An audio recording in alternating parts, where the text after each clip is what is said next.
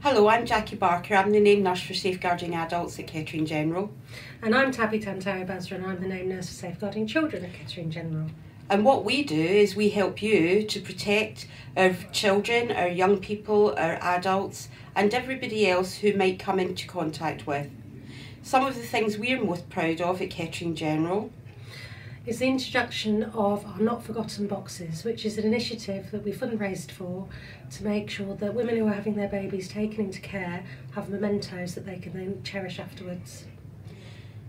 The other things that we're very proud of is everyone's willingness to work to protect the welfare and well-being of all of our patients as well as each other.